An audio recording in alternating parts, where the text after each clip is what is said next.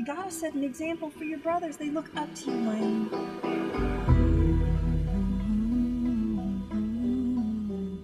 You gonna support your mama and your brothers pumping gas down at that goddamn gas station? What? I've been making a lot of money there. Been making a lot more if they put me on full time. Still ain't no goddamn real job. Well, I never heard you complain when you were working there. Satan, your kingdom must come down.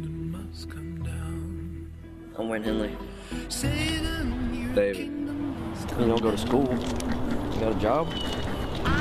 Sometimes I do some work with a friend of mine. Just a little hustle on the side.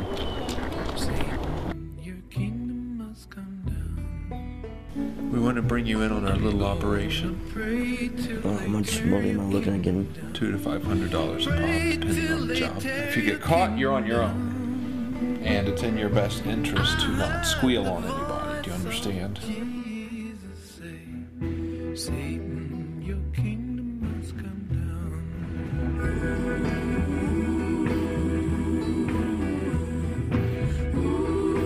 Doing bad things.